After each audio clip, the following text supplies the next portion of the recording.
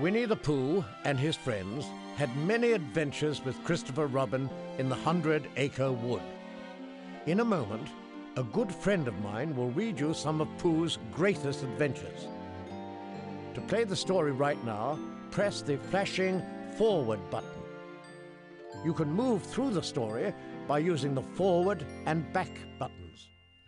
You can switch between playing the story or reading it yourself by clicking the mode button.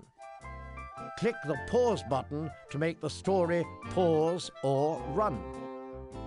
You can choose which scene to play by using the scene selector. You can quit at any time by pressing the quit button. So press the flashing forward button and let's begin now.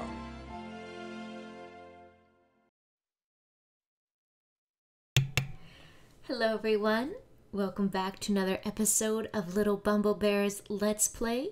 I'm Kristen, and we are here with the origin of Little Bumble Bear, my most treasured and loved Disney character in the entire world since I was a very young child. Winnie the Pooh. I have always enjoyed recording anything Winnie the Pooh related on this channel, a personal favorite and a huge inspiration behind uh, my internet personality. Uh, such innocence and charm, and such just joy and comfort that this bear is and what he embodies. It's, it's such a beautiful story, so many lovable characters. I don't know anyone who doesn't like Winnie the Pooh at all. Um, I hope you enjoy the read along. Be sure to give this video a thumbs up. Leave a comment down below. Are you a Winnie the Pooh fan just like me? And of course, subscribe for more nostalgic gaming. Check out the playlist in the description box for all of the other Disney slash Pixar games. I even have a playlist on this channel dedicated to just Winnie the Pooh games, I believe. So go and check out my playlist and see if you can find it. I also have a Twitter and Instagram you can follow and a Discord server you're welcome to join. All the links are down below in the description box. Let's begin. Enjoy.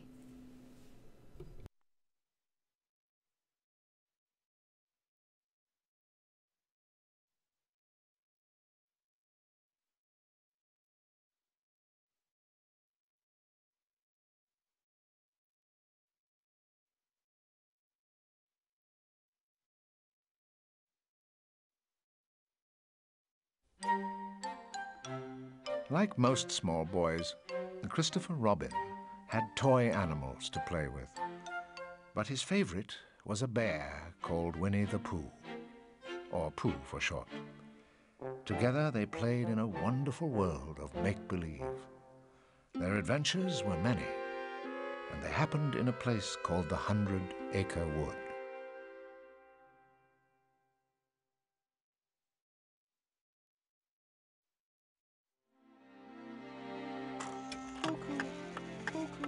Now, when Pooh heard his cuckoo clock, he knew it was time for something. So he went to his cupboard, got down a honey jar, and inspected his honey supply. Oh, bother. Empty again. Only the sticky parts left. Now, Pooh was not the sort to give up easily. When he put his mind to honey, he stuck to it. So he thought and he thought. Only this time he thought of. Uh, Rabbit. Yes. And I like Rabbit because he uses short, easy words like, how about lunch and help yourself, Pooh. So Pooh waddled off to Rabbit's house. When Rabbit saw Pooh coming, he cringed because he knew perfectly well what Pooh was looking for. Uh, oh, um, uh, hello, Pooh Bear. Uh, what a pleasant surprise. Uh, uh, how about lunch? Oh, thank you, Rabbit. Pooh sat himself down at the table and tied a napkin around his neck. Rabbit reluctantly pulled out a honey jar. Um, would you like condensed milk or honey on your bread? Both. But never mind the bread, please. Just a small helping. Pooh took the jar from Rabbit, and he ate, and he ate, and he ate, and he ate, until there was no honey left. Finally, in a very sticky voice, he excused himself. I must be going now. Goodbye, Rabbit. Pooh thanked Rabbit and he turned to leave, but Pooh's tummy, full of honey, only got halfway out of Rabbit's small front door. Oh, help and bother. I'm stuck. Rabbit pushed at Pooh's round bottom. Oh dear. Oh gracious. Oh. But it was of no use. Well, it all comes from eating too much. It all comes from not having front doors big enough. Rabbit didn't know what to do, so he ran out the side door of his house to find the one person who could help. Rabbit returned with Christopher Robin. Cheer up, Pooh Bear. We'll get you out. Christopher Robin and Rabbit took hold of Pooh and pulled. And they pulled and they pulled. Oh, it's no use. I'm stuck. Pooh Bear, there's only one thing we can do. Wait for you to get thin again.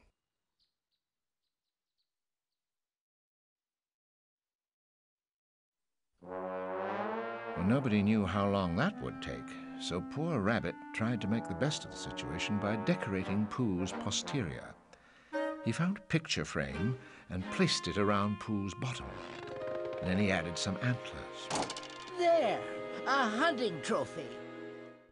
And while Rabbit got along with the back end of Pooh, Pooh's front end was visited by his many friends in the Hundred Acre Wood, the first of whom were Kanga and Baby Roo.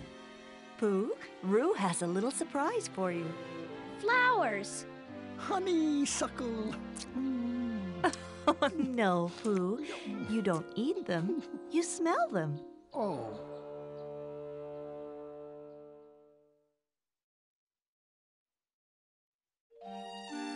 Day after hungry day, night after lonely night, Pooh waited to get thin. And then, one morning, when Rabbit was beginning to think that he might never be able to use his front door again, it happened. He leaned up against Pooh's bottom and He budged. Christopher Crabbin. Uh, uh, Christopher Rabbit. He binged. He badged. He booched. Today is the day. everyone in the Hundred Acre Wood came running to help free their friend. From inside the house, Rabbit pushed on his end of Pooh, while outside, everyone else pulled on their end of Pooh.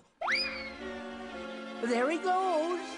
Pooh shot out of the hole and flew high overhead into the treetops, where he landed in the hole in the honey tree. The bees quickly departed.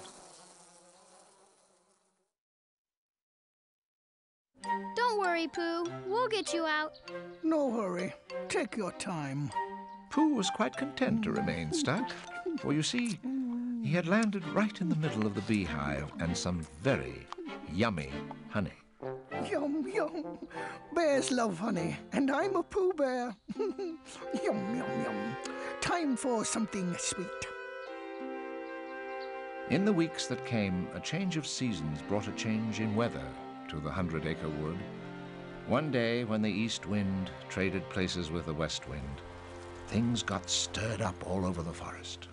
And on this blustery day, Pooh decided to visit his thoughtful spot. As Pooh thought in his thoughtful spot, his friend Gopher appeared and warned him of the approaching storm. Say, if I was you, I'd uh, think about skedaddling out of here Why, because it's Wednesday. Wednesday? Oh.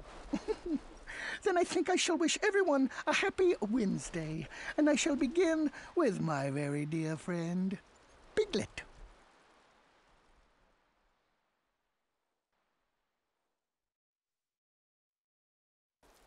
Now, Piglet lived in the center of the forest in a very grand house in the middle of a beech tree. And Piglet loved it very much. Phew. yes.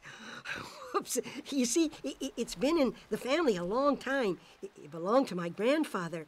Oh, oh, that's his name up there. Trespasser's Will.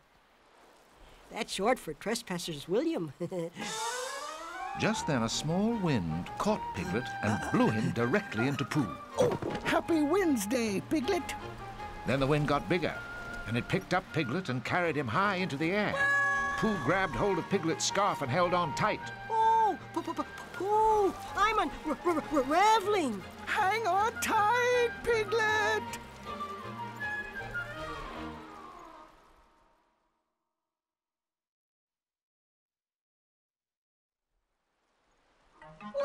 Piglet went higher and higher into the sky, just like a kite, while Pooh held tight to his unraveling scarf.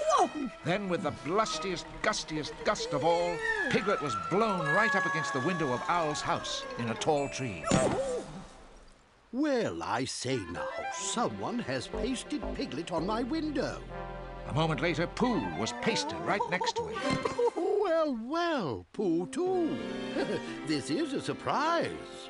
Owl opened his window, and Pooh and Piglet blew in. Am I correct in assuming it is a rather blustery day outside? Yes, sir, Owl. It's a very, very blustery day outside. Oh, yes, that reminds me. Uh, happy Wednesday, Owl.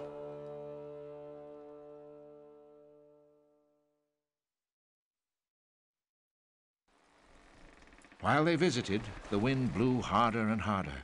It rocked Owl's house back and forth, back and forth, until the tree and Owl's house crashed to the ground.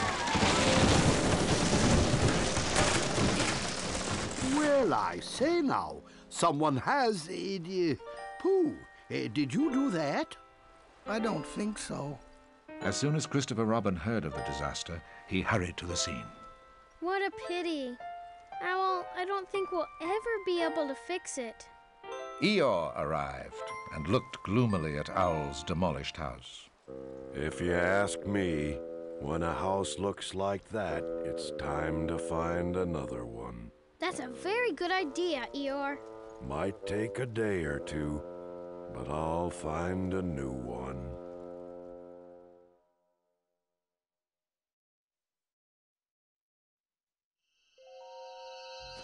Several hours later, the blustery day turned into a blustery night.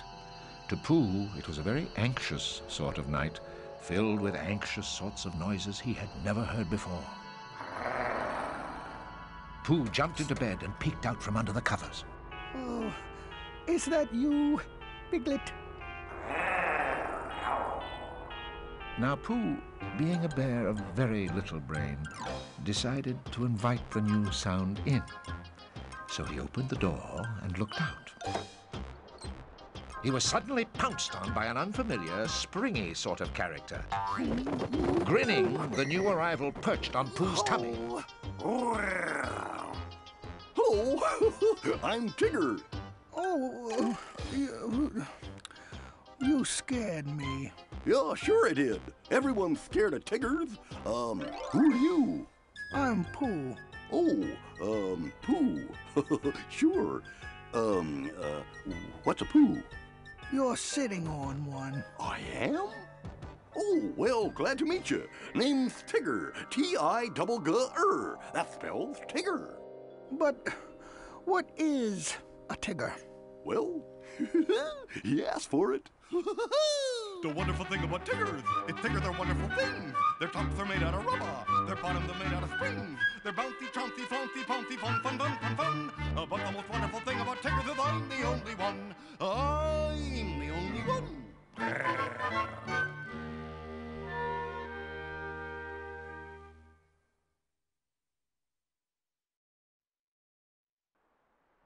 Just as Tigger finished his song, Pooh pointed to the mirror. Well, then what's that over there? Looks like another Tigger to me. Oh, no, it's not. I'm the only Tigger. Watch me scare the stripes off of this impostor. Tigger turned and bravely growled at the image in the mirror. The image growled right back. Tigger ran and hid under a table. Uh, uh, is, is, is, uh, uh, is he gone? He's gone. You can come out now, Tigger. Tigger? Hello, I'm Tigger. Tigger bounced Pooh onto the ground again and invited himself to stay for a little snack. Pooh reluctantly offered him some honey. Honey? Oh boy! honey! That's what Tiggers like best. But when Tigger took a big scoop from the honey jar, he found he didn't like honey at all. Yuck! Tiggers don't like honey. Yuck! That icky, sticky stuff is only fit for heffalumps and woozles. You mean elephants and weasels. That's what I said. Heffalumps and woozles.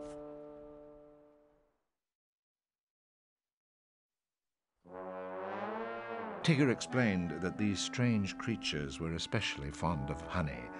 But before Pooh could find out any more, Tigger turned to leave. Well, I'd better be bouncing along now, chum. Uh, cheerio! Tigger bounced out the door, leaving a very frightened Pooh to wonder if there really were heffalumps and woozles about. So all night long, Pooh tried to stay awake, keeping watch over his precious honey pots. Now the very blustery night turned into a very rainy night. Pooh kept his lonely vigil until at last he fell fast asleep. In the morning, Pooh awoke to find his house flooded with water. He went to his mirror and spoke to the Pooh staring back. Is it raining in there? It's raining out here, too. As a matter of fact, it was raining everywhere in the Hundred Acre Wood. There was thunder and lightning and rain, rain, rain. The rain, rain, rain came down, down, down in rushing, rising rivulets till the river crept out of its bed, crept right into Piglet's. Poor Piglet, he was frightened with quite a rightful fright, and so in desperation a message he did write.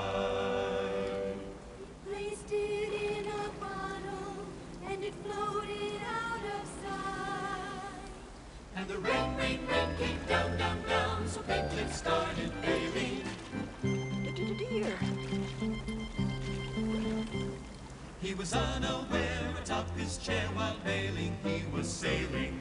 And the rain, rain, rain came down, down, down, and the flood rose up up upper. Who too was caught, so he thought. I must rescue my sub bottom. Ten honey pots he rescued, enough to see him through. But as he stopped up his supper, the river sopped up And the water twirled and tossed him in a honey The rain, came down, down, down, when the came down, down, down. The rain, rain, rain came down, down, down, when the rain, rain, rain came down, down, down. The rain, rain, rain came down, down, down, when the rain, rain, rain came down, down, down. The rain, rain, rain came down, down, down, when the rain, rain, rain came down, down, down. Everyone else gathered at the driest spot in the forest Christopher Robin's house. There, Christopher Robin discovered Piglet's message in the bottle and read it aloud. Help! P- Piglet! Me. Owl, you fly over to Piglet's house and tell him we'll make a rescue. As Owl flew over the flood, he spotted two tiny objects below. One was little Piglet, caught in a whirlpool. The other was Pooh, trying to get the last bit of honey from his honey pot. Owl told them that a rescue was underway, but poor Piglet was growing more nervous by the moment. I, I beg your pardon now, but I, th- I, I think we're coming to a flutterfall, um, a, a philateral fall, a, a, a very big waterfall. Both Piglet and Pooh toppled over the falls and down into the pool below.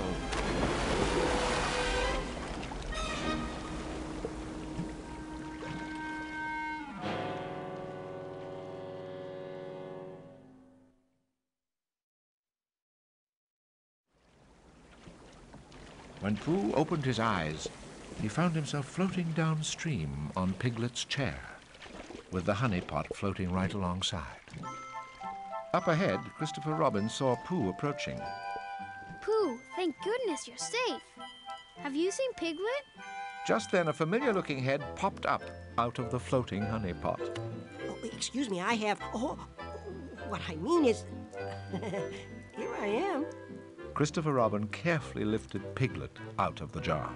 Pooh, you rescued Piglet. I did. Yes, and it was a very brave thing to do. It was. You are a hero. I am. And as soon as the flood is over, I shall give you a hero party.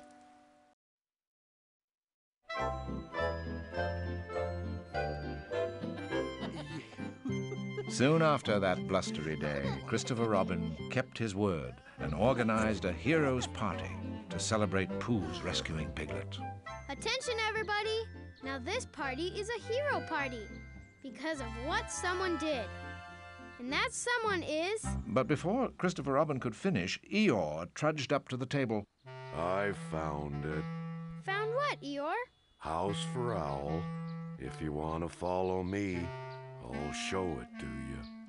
Everyone followed Eeyore to see the new house he had found for Owl. But to their surprise, Eeyore stopped in front of Piglet's house.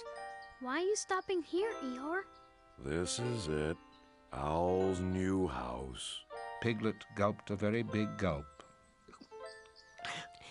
It's the best house in the whole world. Tell them it's your house, Piglet. Oh, no, Pooh. This house belongs to our very good friend Owl. Uh, But, Piglet, where will you live? I, I, I, uh, I guess I shall live. Um, I, I suppose I, I shall live With me. You shall live with me. Won't you, Piglet? with you. Oh, thank you, Pooh Bear. Of course I will. Pooh put his arm around Piglet while Christopher Robin knelt beside him. Piglet, that was a very grand thing to do. And so the one hero party became a two hero party. Pooh was a hero for saving Piglet, and Piglet was a hero for giving Owl his grand home in the beech tree.